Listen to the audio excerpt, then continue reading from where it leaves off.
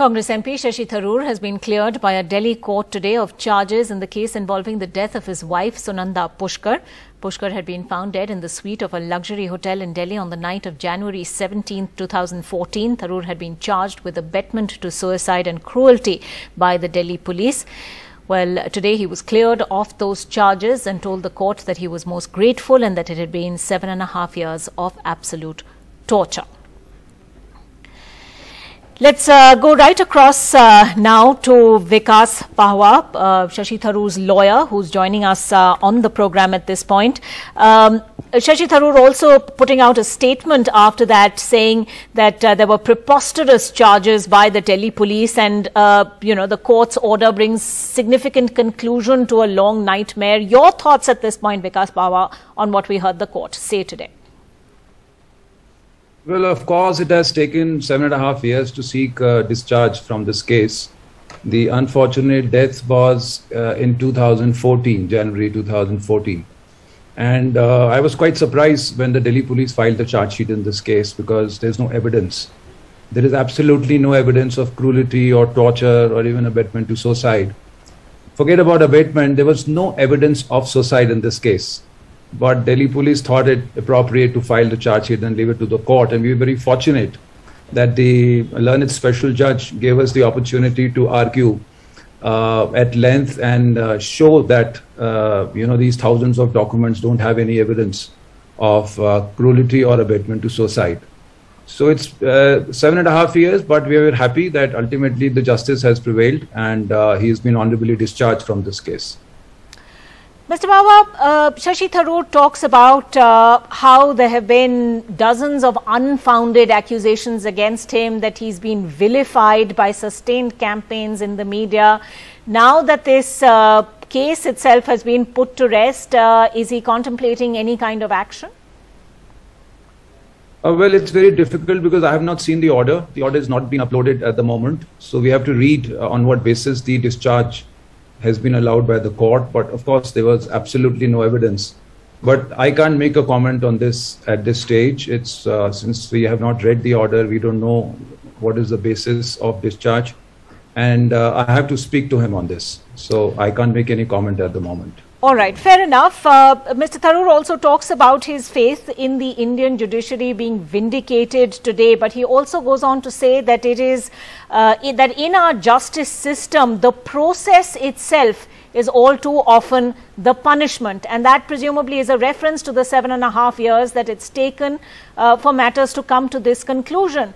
Now, Shashi Tharoor, of course, has the benefit of being uh, an, an, MP, um, a very well recognized face. And uh, given that he's, uh, it's taken seven and a half years for him uh, in, in such a situation, where does that leave the ordinary under trial? Absolutely. I, I, I agree with you on this. And also, I think Dr. Tharoor is absolutely right. Seven and a half years to decide the uh, application of discharge, it's, it's really unfortunate, but I don't, I can't blame the courts for it. The SIT of Delhi Police took about four and a half years to conclude the investigation. In fact, they took one year to register the FIR in this case. The death of Sunanda Pushkar is January 2014. FIR is January 2015. And then three years, three and a half years of investigation, charge sheet filed without any evidence.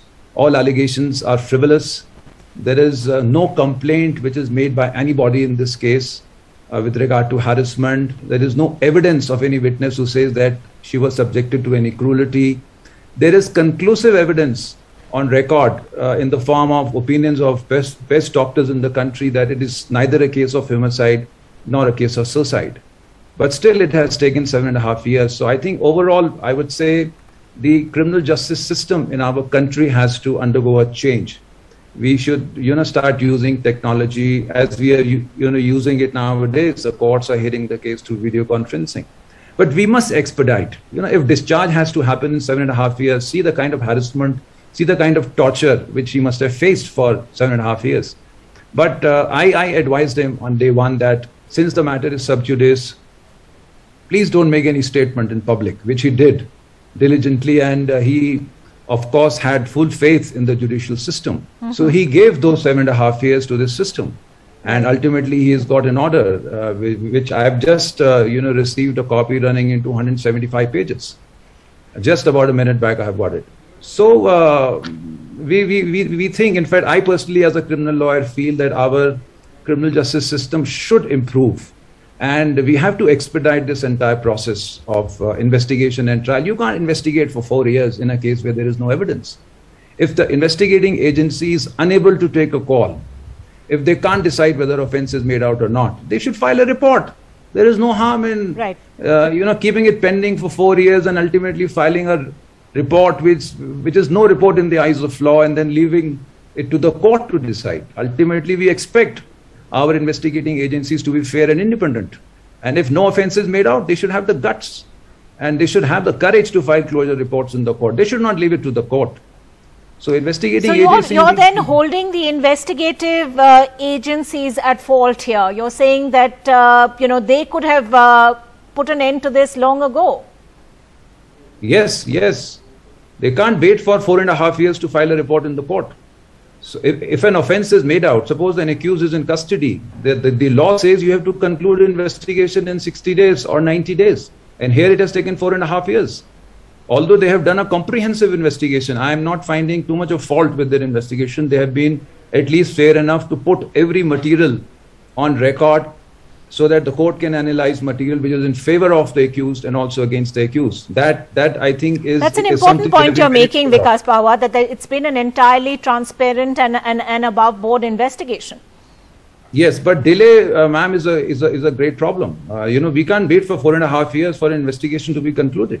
Uh, it's, it's completely uncalled for.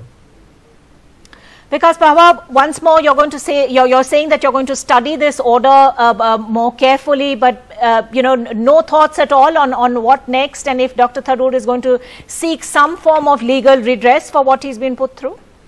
No, no, we can't say at this stage. Uh, we, you know, we have to have a proper discussion before we take a call.